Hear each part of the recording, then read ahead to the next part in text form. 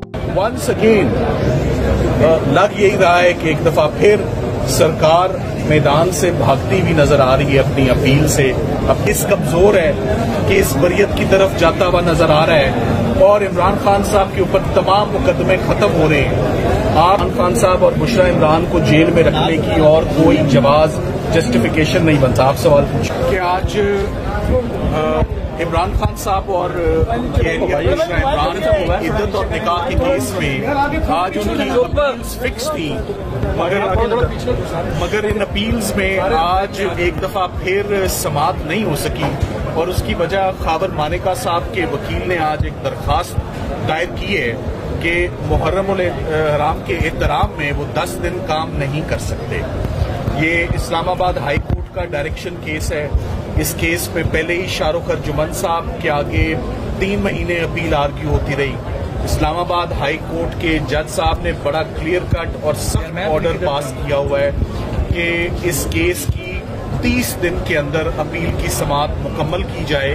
तो जब समात बिल्कुल फैसले के करीब आ रही है जज मोहम्मद अफजल मजूका जो नए जज साहब हैं जिनके पास दूसरी दफ़ा ये अपील आर्ग्यू होने जा रही है? तो आज खाबर मानिका साहब के वकील ने 10 दिन की अल्तवा की दरखास्त दायर की है जिसकी हमने भरपूर मुखालफत की है जिस पे जज साहब ने अपना ऑर्डर में क्लियर किया है कि अगर इस्लामाबाद हाई कोर्ट इस टाइम को एक्सटेंड करेगी तो ये एक्सटेंशन मिलेगी। अदरवाइज़ ये फैसला अपने मुकर्रा टाइम पर परसों फैसला दलाइल मुकम्मल होने के बाद सुनाया जाएगा। सो so, इससे पहले कभी भी 10 दिनों के लिए किसी वकील ने अल्तवा की दरखास्त नहीं की, किसी ने मुल्क से बाहर जाना हो तो ऑफकोर्स एडजर्न होता है, किसी ने ज्यारतों पे जाना हो तो एडजर्न होता है। अगर कोई मुल्क के अंदर ही मौजूद हो और एडजर्नमेंट की दरखास्त मांगी और वो भी 10 दिनों के लिए किसी ऐसे डायरेक्शन केस में जिसका एक बैकग्राउंड हो, जिसमें ऑलरेडी ट्रायल कोर्ट ने भी एक शेड्यूल पास किया हुआ है कि इस शेड्यूल के तहत अपील होगी। और जब एक मामला और एक अपील सब जुडिस हो, जब वो सुनी जा रही हो और उसके दरमियान में, वकील साहब ने सेशन जज साहब से एक बड़ी जनरल सी एडजमेंट कि मैं मुहर्रम के एहतराम में दस दिन काम नहीं करना चाहता।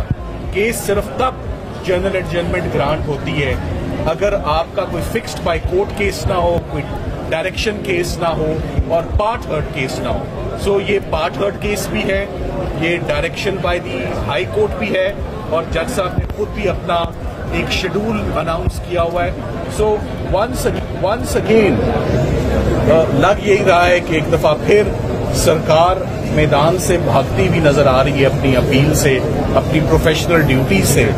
हर किसी की इंगेजमेंट्स होती हैं हर कोई अपनी इंगेजमेंट्स को एक साइड पर रख के सबसे पहले एज लॉयर हमारी प्रोफेशनल ड्यूटीज़ होती हैं जो हम सर अंजाम करने देने आते हैं अदालतों में। तो अब मामला कल सुबह के लिए एडजर्न हुआ है।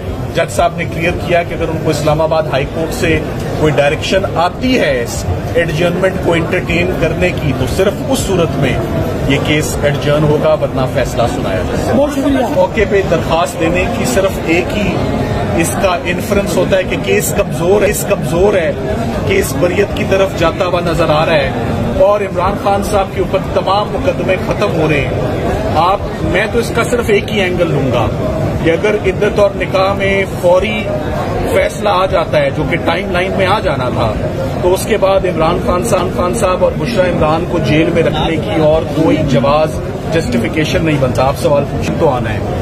साइफर केस भी आपको मालूम है, तीन महीने आर्ग्यू हुआ। ये केस भी बदकिस्मती से तीन महीने शाहरुख अर्जुमन साहब के पास आर्ग्यू हुआ। एक नए जज साहब के पास आया, एक महीने का टाइमलाइन था। आज वो खत्म होने को आया है तो आज दस दिनों का मुहर्रम के एहतराम। मुहर्रम के एहतराम में अदालतें बंद होती हैं। नौ और दस मुहर्रम को काम नहीं होता।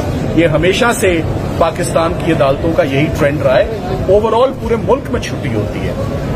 मगर पहली मुहर्रम से अदालतें अगर काम करना बंद कर दें किसी जर्नल सी बात पर ऐसा होता नहीं। है सो हम उम्मीद करते हैं कि कल ये अब समात कल दोबारा 11 बजे कल दोबारा रिज्यूम होगी और मैं उम्मीद करता हूँ कि हमें इजाज़त होगी कि आप आर्ग्यू करें। ये फैसला मेरिट्स पर इंशाल्लाह दो दिन में आ जाएगा। Thank you very thank you mics ले लें।